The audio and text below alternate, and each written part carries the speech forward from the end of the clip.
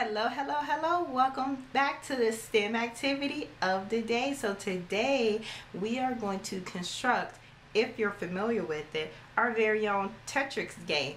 But instead of Tetris pieces, we're going to use our pentominoes pieces, which are pieces constructed of five squares. Remember that pentominoes is a five.